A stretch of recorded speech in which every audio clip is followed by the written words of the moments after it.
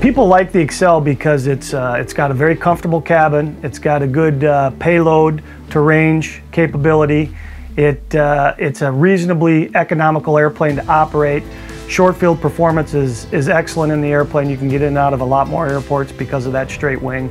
And it's just a good all-around workhorse for the citation world.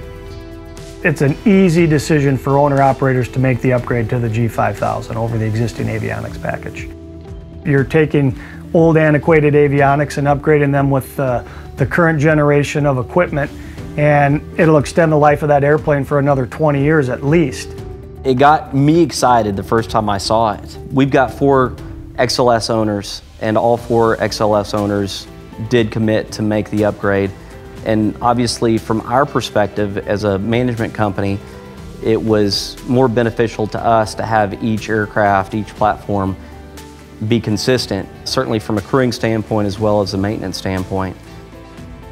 Every crew member that we've had uh, get onto the platform, whether they've been here for a while or, or they've come on board recently, they've been thoroughly impressed with the performance of the, the, the systems themselves, as well as just how much more efficient it is to set the airplane up for each mission and how they're able to operate it through, through each leg. It provides the crews, at the end of the day, the safety that is truly paramount in the operations that we provide to these owners. Behind me, you're going to see a level D simulator, which is the Citation Excel G5000. It's part of the Flight Safety Textron Aviation Training Company's uh, simulators. Everybody's very thankful that, that they have the option to be able to come train in it that has the G5000 in their aircraft. You know, the most important thing about a simulator is you can use every function of the G5000 in a simulator. In the simulator, especially a legacy, uh, now we can show the clientele who are coming off an older flight management system uh, to this new, really uh, sophisticated piece of equipment, how to operate it and how to use every function on it. Part of the big justification of uh, the G5000 was the uh, new ability to also have LPV approaches. Our current equipment was basically uh, GPS approaches or RNAV approaches and uh, ILS localizer approaches. Uh, we consistently were going in and out of one of our airport bases that did not have ILS uh, or VOR approach per se other than a circling approach. Suddenly with LPV we had uh, the ability to get in where in earlier instances we would have probably gone on to one of our alternate airports.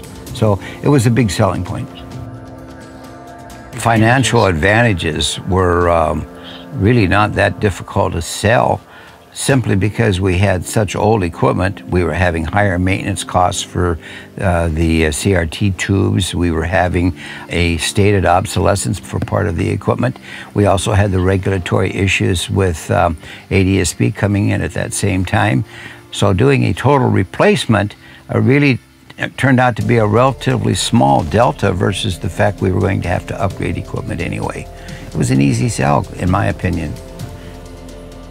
Anytime you've got a, very capable airplane that is in the process of needing enhancements, we go through each option to not only provide our recommendations, but to show what the different options might provide back to the owner.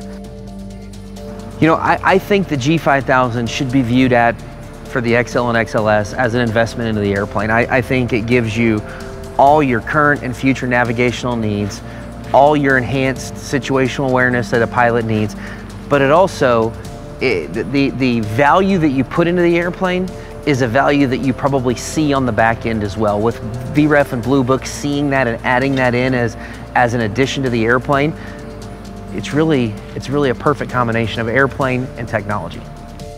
There really isn't a disadvantage to doing it. I see no reason why an owner of an XL XLS would not want to make the investment.